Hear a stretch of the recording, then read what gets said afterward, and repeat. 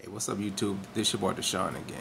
Y'all, it's gonna be a quick video. I promise y'all. I can't do no 10, 15, no hour, no two hours. I got stuff to do.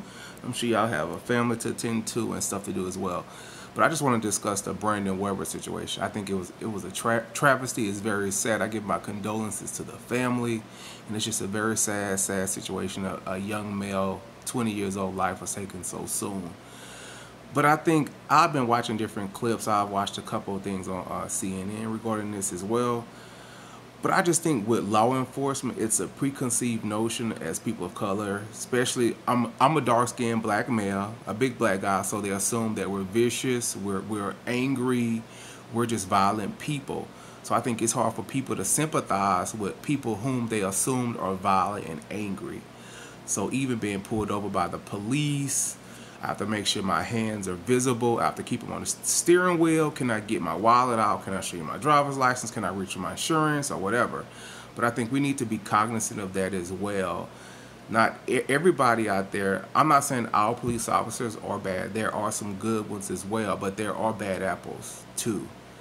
And sometimes if they think that you're a certain way or if it's a preconceived notion about you, they don't give a damn. Their sympathy, their empathy is out the window and heard clips regarding this young male regarding his his past, uh, his criminal past, and I just think that that doesn't matter. A person doesn't deserve to be shot almost or 20 times, nearly 20 times.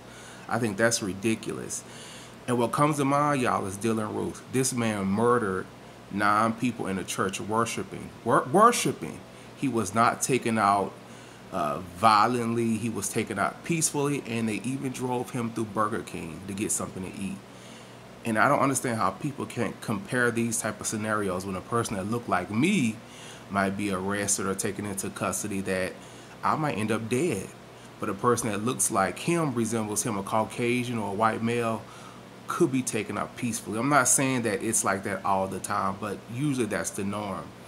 And I think a lot of us grew up in disassembled communities where we see crime, we see we well we have seen crime, past tense, present tense, crime, uh, violence, uh, drug selling, and I was thinking about it. I'm so glad and blessed that I had a father or mother that tried to instill certain things in me that they pushed me toward college or school or certain activities that led me not to go into such that path.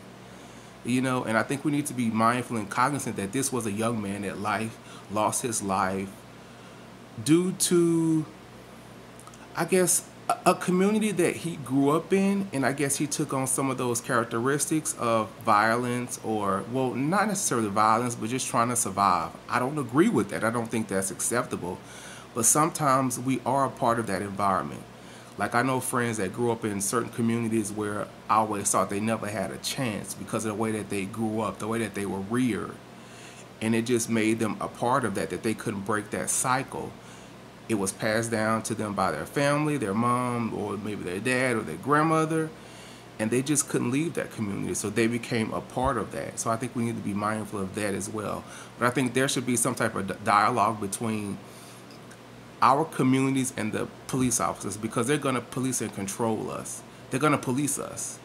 So there needs to be some type of dialogue on how to get along, on how to um, talk to each other, on what's necessary to protect us, them, as well as our communities because this can't this senseless violence like this can't keep happening.